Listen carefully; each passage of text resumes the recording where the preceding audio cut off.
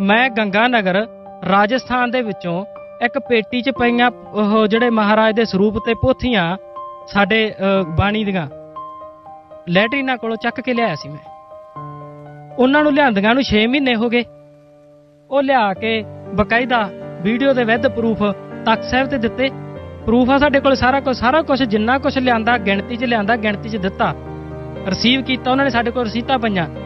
ਅਸੀਂ ਕਿਹਾ ਸੀਗਾ ਵੀ ਇਹਦੀ ਸੁਣਵਾਈ ਚਾਹੀਦੀ ਸਾਨੂੰ 15 ਦਿਨਾਂ ਦੇ ਵਿੱਚ। ਕਿਉਂ?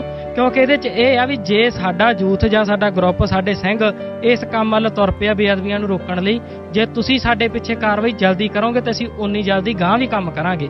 ਤੇ 6 ਮਹੀਨਿਆਂ ਤੋਂ ਉੱਤੇ ਉੱਪਰ ਹੋ ਗਿਆ ਇਸ ਕੰਮ ਨੂੰ। ਹਜੇ ਤੱਕ ਇਹਨਾਂ ਨੂੰ ਪਤਾ ਹੀ ਨਹੀਂ ਉਹ ਬੰਦੇ ਕਿਹੜੇ ਸੀ, ਕਿਹਨੇ ਬੇਅਦਬੀ ਕੀਤੀ ਆ ਤੇ ਕਿੱਥੇ ਆ ਉਹ ਤੇ ਉਹਨਾਂ ਨੂੰ ਸਜ਼ਾ ਕੀ ਦੇਣੀ ਆ। ਤੇ ਹੁਣ ਇਦੋਂ ਬਾਅਦ ਜਦੋਂ ਕੋਈ ਬੇਅਦਬੀ ਵਾਲਾ ਕੇਸ ਸਾਡੇ ਕੋਲੇ ਆਉਂਦਾ ਮੰਨ ਲਓ ਕੋਈ ਗੁਰਦੁਆਰਾ ਸਾਹਿਬ ਆ ਪੰਜਾਬ ਦੀ ਸਟੇਟ ਤੋਂ ਬਾਹਰਲਾ ਗੁਰੂ ਘਰ ਆ, ਉੱਥੇ ਗੁਰੂ ਗ੍ਰੰਥ ਸਾਹਿਬ ਦਾ ਸਰੂਪ ਕਿਤੇ ਟਾਇਲਟ ਕੋਲੇ ਪੇਟੀ 'ਚ ਰੱਖਤਾ।